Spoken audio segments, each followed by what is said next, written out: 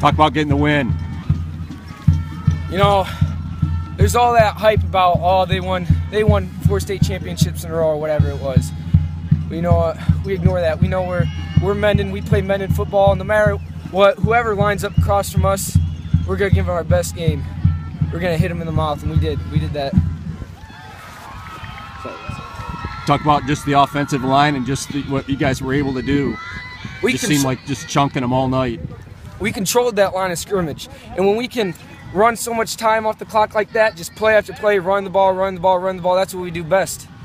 And we executed tonight. We did that. That's why we won. What does this win mean to you guys and to this team? Playing MCC, longtime rival. Longtime rival. Anyone that knows anything about Mendon football or Muskegon, know usually whoever wins this game right here is going on to win state. You know, it's not over yet, but it's a huge milestone. We still got a lot of work to do, but it's a relief to get this one out of the way.